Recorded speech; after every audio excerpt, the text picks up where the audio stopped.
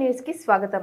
ఏలూరు జిల్లా నూజివీడు నియోజకవర్గం చాట్రాయి మండలం చాట్రాయిలో తెలుగుదేశం పార్టీ జాతీయ అధ్యక్షులు నారా చంద్రబాబు నాయుడుకి త్వరలో బెయిల్ మంజూరై జైలు నుండి విడుదల కావాలని జిల్లా అధికార ప్రతినిధి మండపాటి బసవరెడ్డి స్థానిక సాయిబాబా మందిరంలో పూజలు నిర్వహించారు. అదేవిధంగా జిల్లా తెలుగు రైతు ప్రధాన కార్యదర్శి మోరంపూడి శ్రీనివాసరావు చనుబండ చర్చిలో పాస్టర్ పురోస్తతంచే ప్రత్యేక పూజలు నిర్వహించారు. ఈ సందర్భంగా మోరంపూడి అంబేద్కర్ రాసిన రాజ్యాంగ సజావుగా ఆంధ్ర రాష్ట్రంలో అమలయ్యేలా చూడమని అంబేద్కర్ విగ్రహం పాదాల వద్ద వినతి పత్రాన్ని ఉంచారు.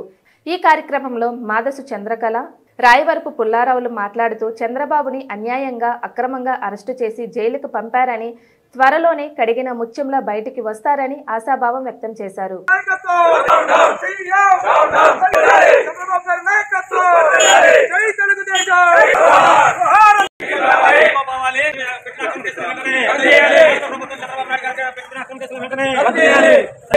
చంద్రబాబు గారి నాయకత్వం. చంద్రబాబు గారి నాయకత్వం. వర్ధిల్లాలి చంద్రబాబు గారి నాయకత్వం తెలుగుదేశం పార్టీ జోహార్ ఇండియా హైకో పోవాలి చంద్రబాబు పెట్టిన అక్రమ కేసులు వెంటనే చంద్రబాబు గారిపై బేషరతుగా క్షమాపణ చంద్రబాబు నాయుడు గారిపై బేషరతుగా క్షమాపణ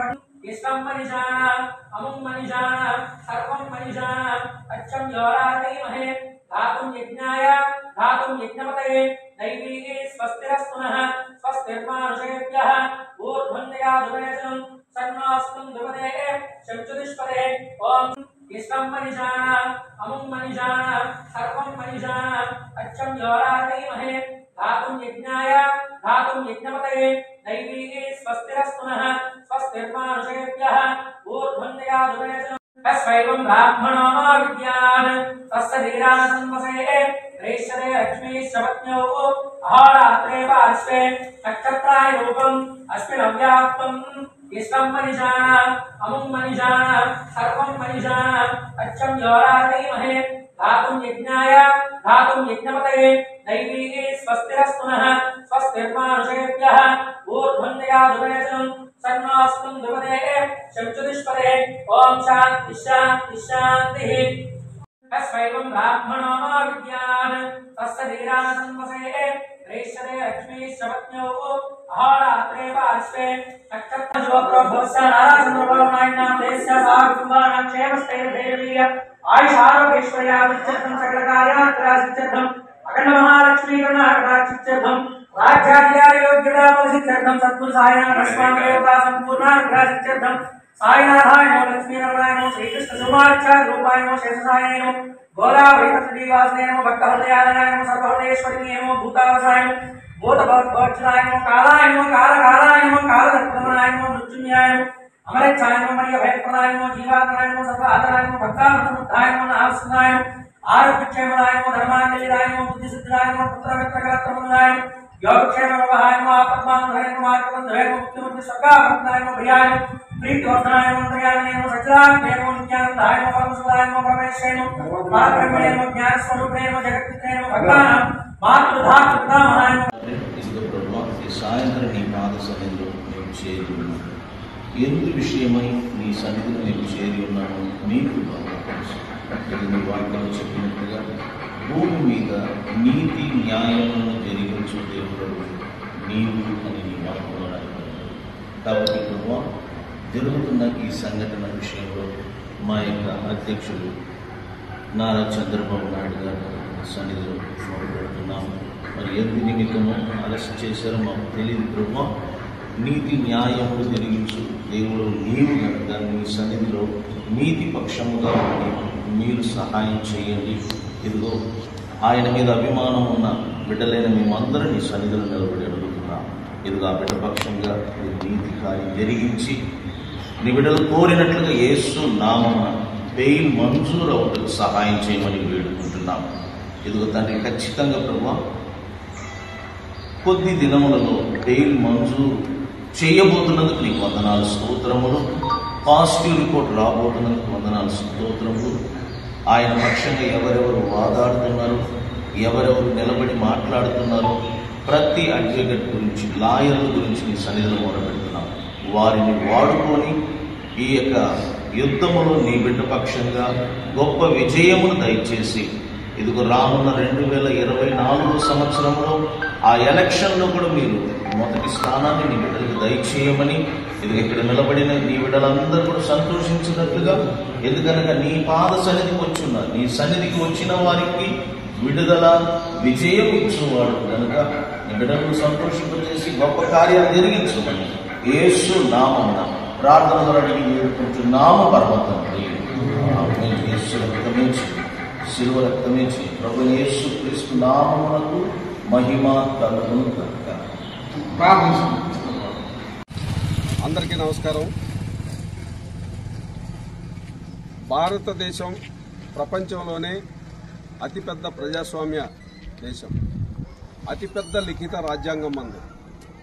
బాబాసాహెబ్ అంబేద్కర్ గారు ఎంతో శ్రమించి ఎన్నో దేశాల రాజ్యాంగాన్ని పఠించి దాంట్లోంచి అన్ని రాజ్యాంగాల్లోంచి బెస్ట్ తీసుకొని ఎక్కడా కూడా ఎటువంటి నియంతలు పొరపాటున అధికారంలోకి వచ్చినా కానీ ఏ ఆ ప్రజాస్వామ్య విలువలకి విఘాతం కలగకుండా చాలా జాగ్రత్తలు తీసుకున్నప్పటికీ ఇవాళ ముఖ్యమంత్రిగా ఉన్న జగన్మోహన్ రెడ్డి గారు అధికారంలోకి వచ్చిన తర్వాత కక్షపూరితంగా ప్రజాస్వామ్య విలువలకి తిలోదకాలు కాలిచ్చి రాజ్యాంగాన్ని తుంగలోకి తొక్కి తన వ్యక్తిగత కక్షను తీర్చుకోవడం కోసం ఆయన చేస్తున్న పనులకి పరాకాష్ట మొన్న మన చంద్రబాబు నాయుడు గారిని అరెస్ట్ చేయడం చంద్రబాబు నాయుడు గారు తెలుగు జాతికి ఒక వెలుగు తెచ్చిన నాయకుడు.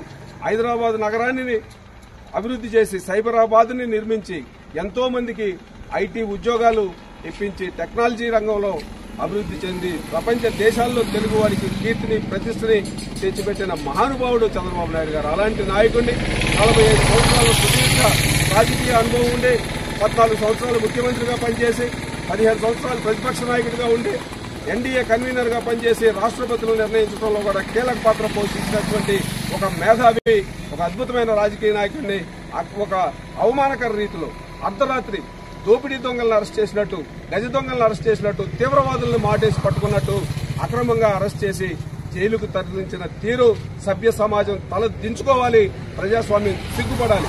అందుకే మేము ఈ రాజ్యాంగాన్ని రచించిన బాబాసాహెబ్ అంబేద్కర్ గారిని వేడుకుంటా ఉన్నాం. ఓ బాబాసాహెబ్ అంబేద్కర్ గారు ఈ రైతు ముఖ్యమంత్రి.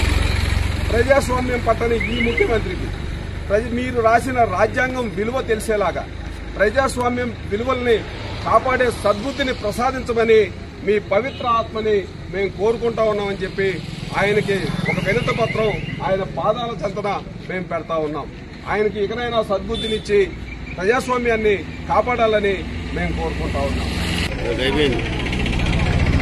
వస్తుందని జగన్మోహన్ రెడ్డి గారు ఓడిపోతా తెలిసి చంద్రబాబు గారిని ఏదో రకంగా కేసులో ఇరికించి జైలు పంపించాలని కంకణం కట్టుకున్నారు.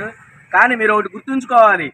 ఏ రోజైనా సరే మీ కుటుంబ సభ్యులు మీ అమ్మగారు కానివ్వండి మీ చెల్లి గారు కానివ్వండి మీ బాబాయ్ గారు ఎవరు అడ్డులో ఉండకూడదని చెప్పి తొలగించుకున్నారు. కానీ చంద్రబాబు గారు కూడా తొలి- తొలగించుకోవాలని అనుకుంటున్నారు. కానీ తొలగించుకోలేరు మీరు.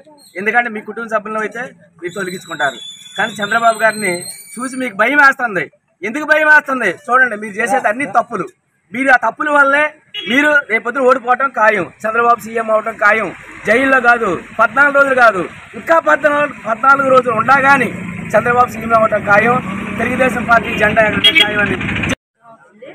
ఏంటంటే గత డెబ్బై రెండు గంటల నుంచి కూడా చంద్రబాబు నాయుడు గారిని ఏ విధంగా వేసుకోవాలనేది మనం చూస్తూనే ఉన్నాం నంద్యాల ఏసీబీ పోతున్నా కానీ విజయవాడ తీసుకొచ్చి ఆయన్ని ఏదో పరాభం చేయాలి. నేను పదహారు నెలలు జైల్లో ఉన్నాను కాబట్టి కనీసం ఒక పదహారు గంటలన్నా ఆయన్ని జైల్లో ఉంచాలనే కంకణం కట్టుకొని జగన్మోహన్ రెడ్డి లండన్ వెళ్ళి ఇక్కడ ఉంటే ఆంధ్రప్రదేశ్లో ఉంటే చేతగాక లండన్ వెళ్ళి ఇక్కడ ఆయన ఎవరు నడిచారు కాకపోతే ఏంటంటే చీకటి అనేది వస్తూనే ఉంటది పోతూనే ఉంటది. ఇవాళ చంద్రబాబు నాయుడు గారికి ఒక గ్రహణ కాలం అనేది ఏర్పడింది.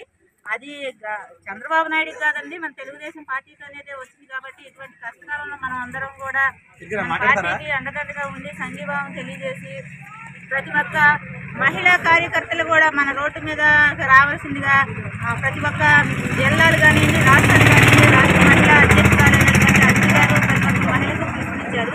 ఇవాళ ఆంధ్రప్రదేశ్లో మహిళలు గౌరవంగా బతుకున్నారంటే అది చంద్రబాబు నాయుడు గారు ఆ, సంకల్పం వల్లనే మనం మహిళలం అనేది గౌరవం ఉంటున్నాం కదా?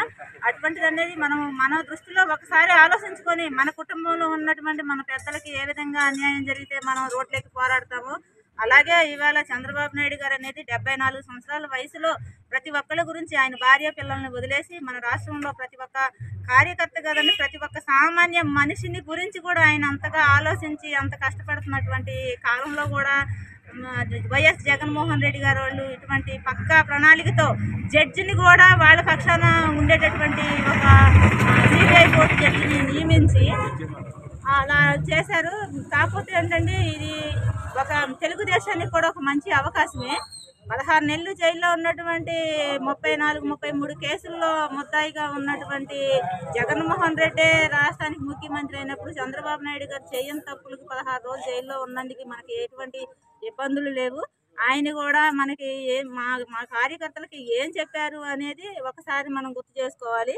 ఎంత ఇబ్బందిలో ఉన్నా కానీ మనం ఎటువంటి ప్రభుత్వ ఆస్తులకు కానీ ఏ విధంగా కూడా విధ్వంసకాండ అనేది జరగనీయకుండా శాంతియుతంగా ఉండండి. మనకే మంచి టైం వస్తుంది శాంతియుతంగా ఉండండి అని పిలుపునిచ్చారు కాబట్టి ఈ రోజు ఈ రాష్ట్రం ఎంత ప్రశాంతంగా ఉంది.